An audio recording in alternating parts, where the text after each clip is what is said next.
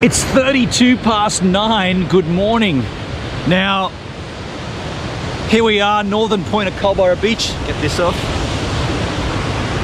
Looking towards the ocean, thinking about what can I do here in terms of uh, wave a day.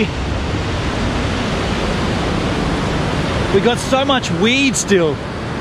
I feel a little bit, um, I'm gonna be honest, I feel a little bit despondent Look at this. Look, just look at this crap down here. Like, that's the point, right? This is be this would be the left-hand break coming in over here.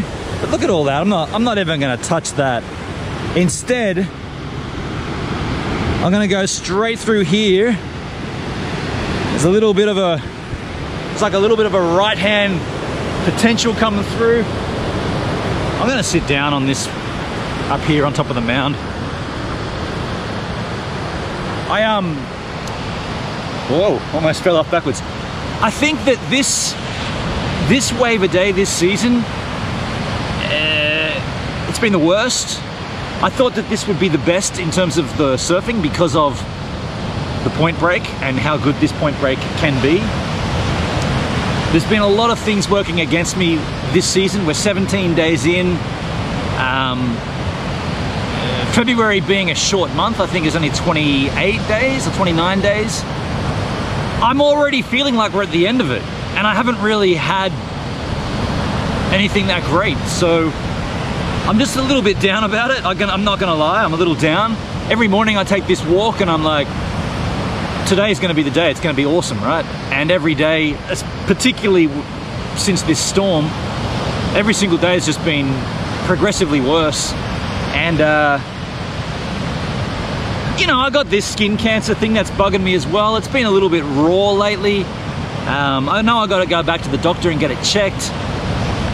It doesn't feel good to put a hat over the top of it because then the hat wobbles with it and I don't know, it's just a couple of things I guess have added up to being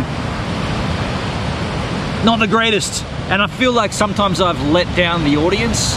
You know, you guys have given me your time and you've given me your daily come back to watch the stuff and but then again you guys that are watching the wave a days aren't even watching the daily vlogs so it's not like yeah I don't know there's just a, a couple of things at play like my videos don't get very many views anyway so it's like I'm putting in all this effort to not really get a reward both in the sense of the surf and the the sense of the video views and I'm just feeling a little bit despondent today you know? You, if I'm being honest about it, you have ups, you have downs. Today's, today, well, the last, say, five days, uh, definitely been down days.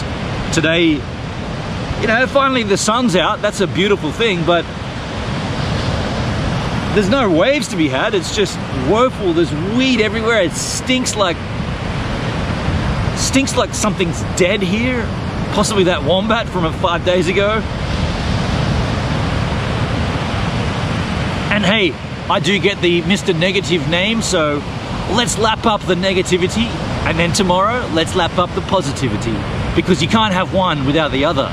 You want to ride that wave? Let's ride that wave. That's how I'm gut, that's my gut instinct feeling. Of course, I would not stop the project. Now that would not happen. But I'm thinking about further Wave a Day projects and how I'm gonna make them better. I don't think we're gonna do Culburra Beach anymore. I think we've done my break, we've done the North Point, and maybe we're gonna do something else. Gotta put my head together.